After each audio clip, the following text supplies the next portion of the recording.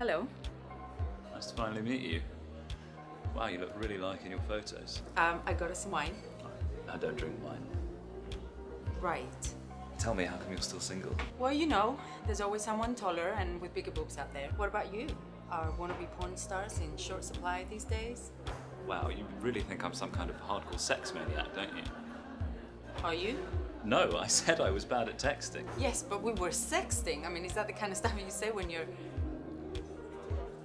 I think we've skipped a few steps here.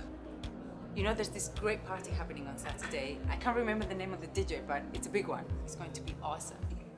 You should come. Can I think about it? No.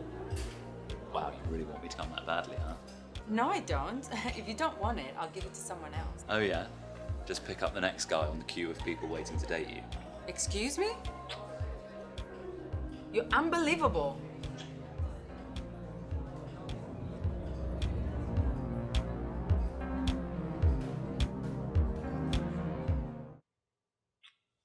I'm sorry. I, I think might that, have- that was I very might- long.